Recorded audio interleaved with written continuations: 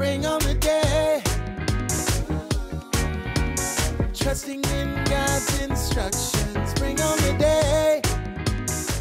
Welcome to Bring on the Day Conversations with Willie and Tikila Adolph. And we're the Adolphs. Yes, and today we're going to be talking about meditation. So stay tuned and we'll be back with Bring on the Day. Are you looking to spend more time with your partner, serve your community, create a successful lifestyle doing what you do, and having fun with your spouse? Reach out to us today at www.couplesinbusiness.com.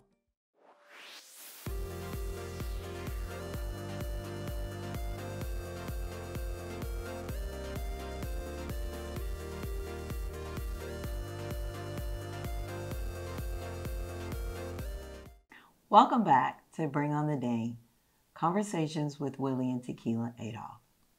And we are speaking on meditation today. Yes, yes, yes, yes. Willie, can you lead us in prayer? Yes. Dear Lord, thank you for today. Thank you for the opportunity to speak the word. Thank you for allowing us to come to you and just be thankful and grateful to be alive today. Lord, give us the opportunity to sit still, to listen to your word, and to meditate and just hear your guidance. In the name of Jesus today we pray. Amen. Amen. As Christians, we all get confused on the word meditation. And a lot of us grow weary, weary when we hear it because we think of honoring another idol or going into some kind of trance when meditation has different meanings and different definitions. Let's go to scripture on meditating. Psalm 1 2. But his delight is in the law of the Lord, and on his law he meditates day and night. Psalm 49 3. My mouth shall speak wisdom, the meditation of my heart shall be understanding. Psalm 119 15. I will meditate on your precepts and fix my eyes on your ways. Joshua 1 8. Keep this book of, of the law always on your lips. Meditate on it day and night so that you will be prosperous and successful. Isaiah 26 3. You keep him in perfect peace, whose mind is stayed on you, because he trusts you. Genesis 24 63. He went out to the field one evening to meditate, and as he, Isaac, looked up, he saw camels approaching.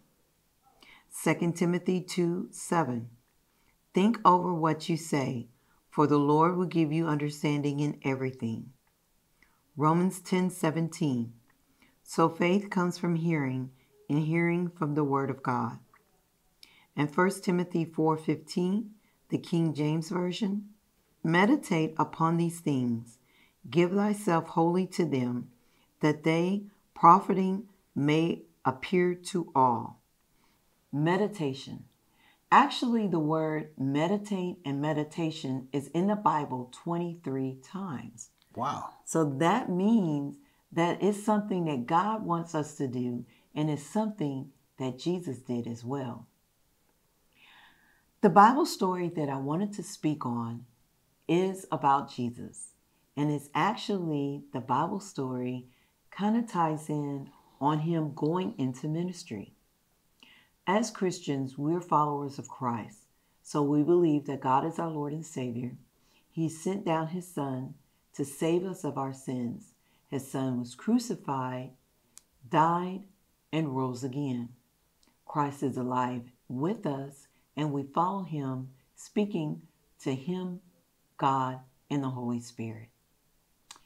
Of those things and of that mindset, we want to make sure that the things that we do represents Jesus in a good light and represents God in a good way that we honor him. Jesus meditated. Before going into ministry, Jesus spent 30 years as a regular man. And from what I mean by that, he was born through a Virgin Mary who was married to Joseph. Joseph and Mary's descendants are from King David. And as we go through the Bible and all of the stories, which I encourage you to pick up a Bible and read, um, if that does seem kind of scary to you, I suggest you pick up a children's Bible, learn the stories, read and look at the pictures, get excited about the Bible, and then go and find a Bible, a Bible which version that you can relate to. So, along the stories of the Bible, and as Jesus was born, several instances he wanted to meditate on the Word. He wanted to get closer to God and he wanted to know the words. Jesus Christ was baptized by John the Baptist. After he was baptized, God was pleased. After that, Jesus went into the wilderness for 40 days and 40 nights. He went on a fast, and basically, he sacrificed his eating and um, depending on food for 40 days to cleanse himself, to cleanse his body, to become closer to God.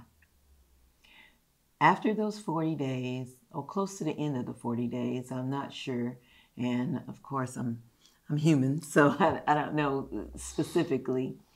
But Satan approached Jesus. Satan gave him three tests that he wanted Jesus to um, to subside to because he was Satan, the evil one. One of the things that Satan came to Jesus, he said, Hey, I know you're hungry. Why don't you turn that piece of stone into bread? You can do anything because I know who you are. Jesus said, It is written, man shall not live upon bread alone. And so Satan was like, All right, so you know the Bible. Second, Satan said, Hey, come here. And he put Jesus on the top of the highest mountain. And he says, I know who you are. And we know that if you jump off this mountain, you'll be saved because I read the Bible too. His angels will protect and guard over you. Jesus said, It is written, do not test God. Bottom line. so Satan was like, Okay, I got one more. Look at all of this land all of Jerusalem, all of the cities that's all over this country. I will give that to you if you honor me and worship me, Satan. Jesus said, Satan, be gone. It is written to only worship and bow down to our God. Why am I saying all of that and how does that relate to meditation? Meditation is meditating and clearing your mind to take in God's word or something that is of importance of you. When you meditate on a certain thing, it's not that you're clearing your mind for evil to come in. It means that you're clearing your mind to be filled up with God's word, to understand, so you're prepared for when temptations and when Satan comes to you, because he will come. Oh, definitely. Temptations will be there for you. Jesus was very, very adamant on meditating, on being still, on even fasting as part of his meditation. And we want to make sure that we're not feeding into wrong things or that we're doing things incorrectly. We want to make sure that when we meditate, that there's a reason behind it. And as for Jesus, when he meditated and he took those 40 days, and that's not only the only time he meditated. It says later on in the future, as Jesus knew that he was going to be persecuted, he went into meditation again. And this time before he got arrested, he went into the highest mountain with a few of his disciples. Well, he took all of his disciples, then he took a special few with him to the mountain, and then he went to the mountain to meditate. And at that point, he prayed and meditated so hard that he perspired blood. Hmm. But it was so important for him to meditate and be of God's word. Wow. So he got he had time to actually just sit back and and listen. So, you know, meditation does does come in handy. Yes, yes, it does. It fills you up spiritually. Guys, we're going to go to a commercial, and when we come back, we want to give some tips on meditation and meditating. Husband and wife, partners in life, family and business. Through the ups and downs, we've overcome God as a witness. From the household of faith to real estate to what's happening now. We've got something to talk about. So for the next few moments, please allow us. To bring you something you can feel. It's time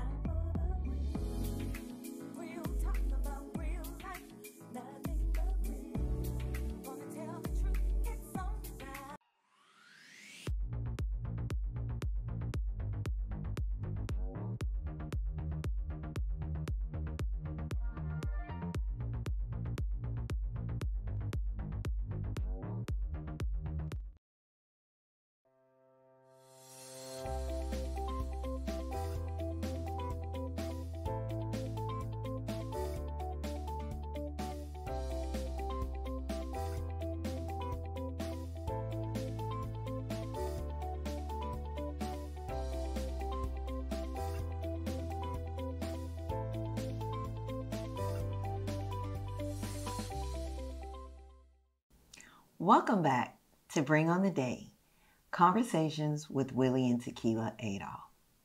And on this part, we're going to give tips and suggestions on why you should meditate.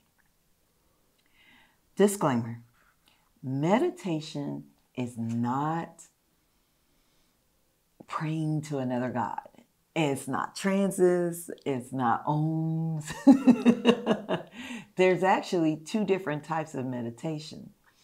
In the spiritual realm, there's Eastern and Western.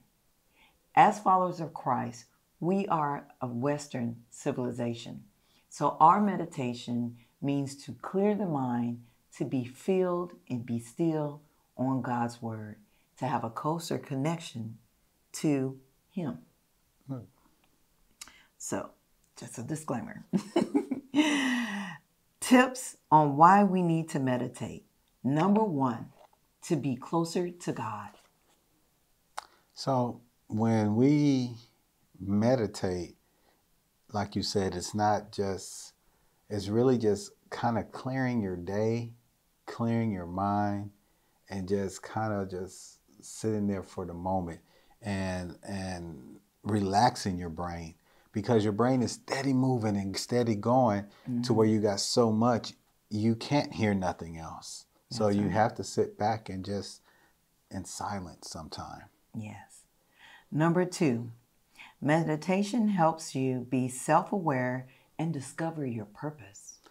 So, in saying that, there's you know there's a lot of books out there on discovering your purpose and knowing your why Mm-hmm. and your purpose. But sometimes when you sit back and and just, I guess, re, it'll reveal what you ask for, but you have to meditate and listen for it. It may not come right away, and you know you have to really drown out in a sense all the extra noise and chaos that's going on in your head more than what's going on outside. Exactly.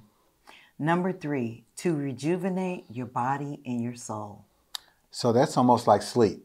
Uh, But it's not. but sleep. it's not, you know, well, in a sense, you can meditate and put your brain into that into that category because technically, even when you're asleep, your mind is being busy. That's where the dreams come from. So when you don't have dreams, sometimes it's just you're you're kind of in a relaxation mode. And that's one of the things that you have to do. And it's not about just laying down and closing your eyes. It's actually just maybe sitting back and listening to nature. Hmm. Okay, I like that. Number four, to understand the Bible and to remember His Word. Well, to understand the Bible, you have to read the Bible. So when you read the Bible, a lot of times, I know for me myself, um, I grab a children's Bible that kind of helps me interpret a lot of the things that I don't understand. Um, it's not saying that it makes me less of a Christian, but it, it's your learning ability. For me, it's I'll read something in the Bible, go to the Bible, uh, children's Bible, because it kind of breaks it down to it's not all that thou, thee, and and so over here it's like pictures, and and it's not even about the pictures. It's about just really breaking it down to a different way of understanding because we all learn differently. Exactly, exactly. Number five, to calm your anxieties. Oh, that's that's a big one because sometimes we get anxiety. We have we'll be anxious.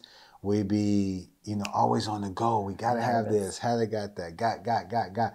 Because we live in a microwave society, so sometimes everything is so fast and fast paced. You need to sit down, sit back, um, and just slow your brain down and just kind of just understand what's really going on around you. Yeah, I like that. Number six, why we need to meditate because it improve, improves your immune system. So Heard of that?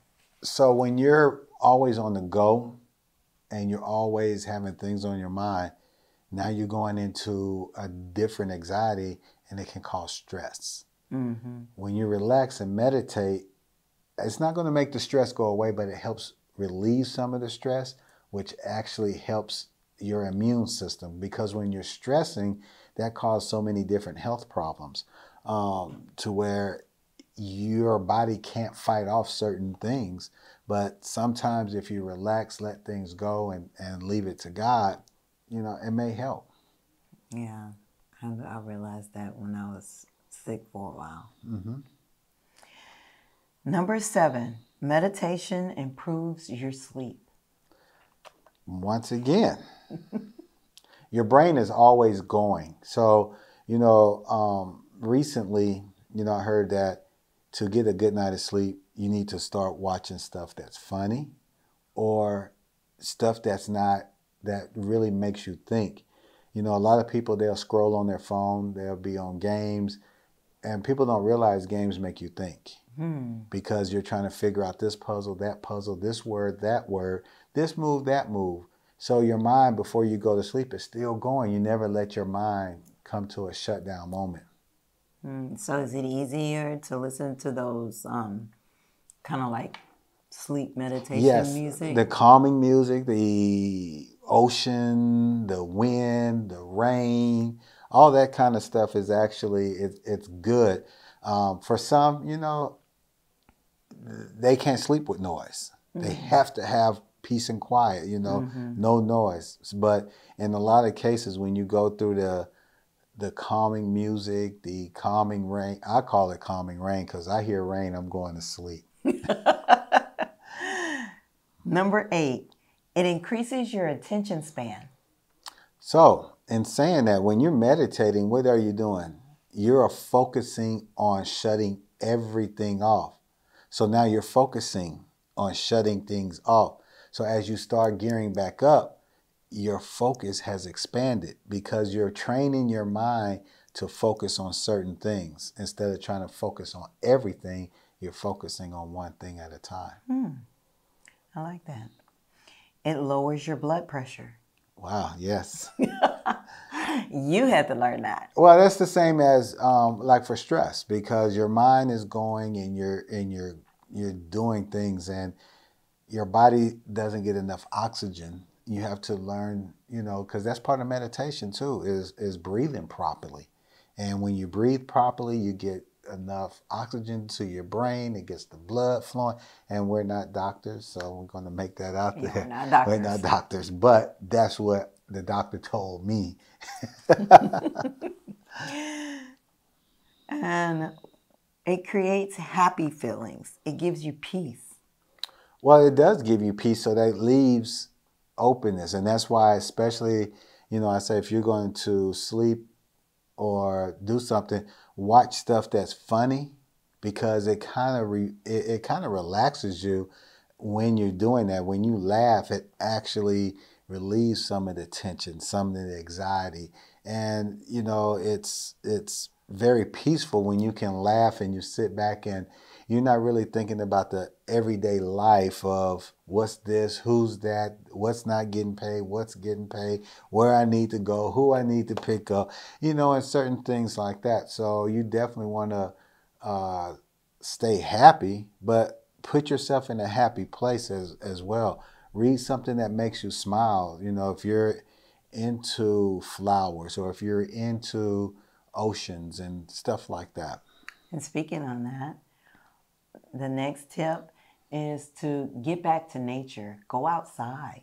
Oh, that is, you know, that is one of the key things as growing up, you couldn't keep us from outside. We always wanted to go. I know uh, when I was younger here in Texas, I always wanted to go to the beach. You know, so it was always the beach. It, you know, and at that particular time, it wasn't for, you know, the right reasons, but it was, you know, it was more of, and it's funny why everybody goes to the beach to get that calmness and happiness. Mm-hmm.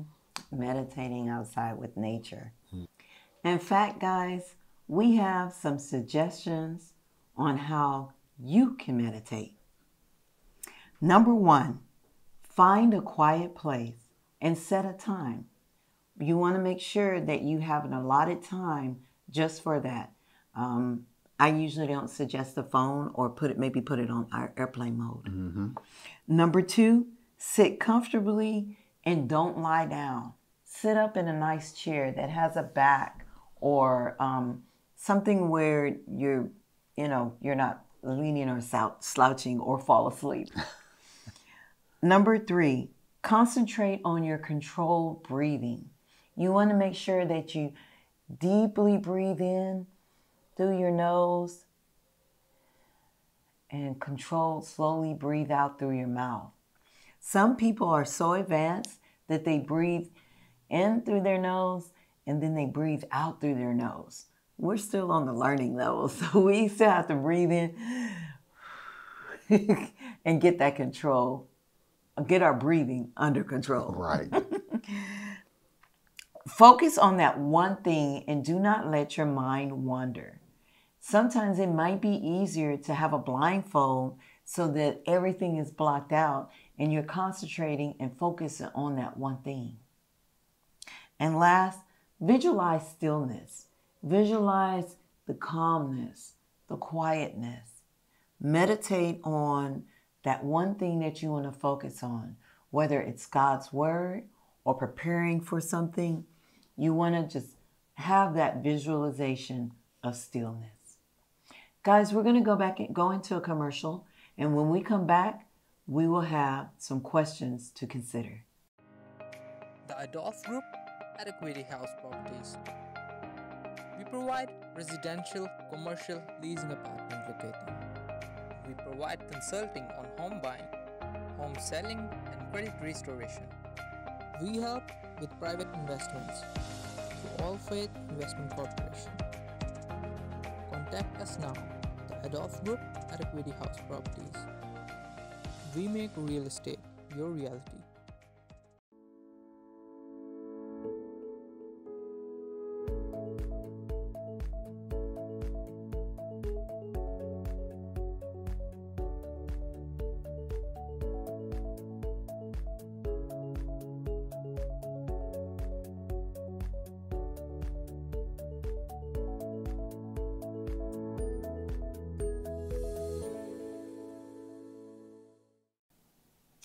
Welcome back to Bring on the Day.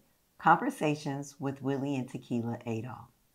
And on this ep- this section, we want to have some questions to consider on the topic of meditation. Oh man, yeah, this is you know meditation is something that we all need. Um, now, do we all do it? Different story, but we do need it. So here's some questions to consider. Do I understand that prayer strengthens relationship with God? So when we're meditating, it's also a time for prayer. And you know, when we when we pray, do you really believe that you know your relationship with God is getting closer, or do you feel it's getting further? Um, another question: Do I trust that God will care for me even when it seems that my prayers have gone unanswered? So a lot of times, you know, we meditate, we pray, we fast, and sometimes God just says no. He he just says no. He keeps that door shut. And and here's another reason is you may not be ready for that yet. You may say, God, if I hit this lottery, I will do this. No, you won't. No, you won't, because you don't do it with the little bit that you have. So sometimes it's, it can just be that simple. Do I believe that my prayers have the power to change my circumstances, my perspective, and my future? That is something for each one of you to really consider for yourself. Me personally, it does. It has. So you really got to take these questions, ask yourself these questions, and be truthful with yourself because you have no wrong answer because they're your answers. Mm, yeah. And meditation is what you make of it. Um, does it help? Yes. Uh, should you do it every day, once a day, once a month? Whatever is good for you. But it's really good to be on a consistent basis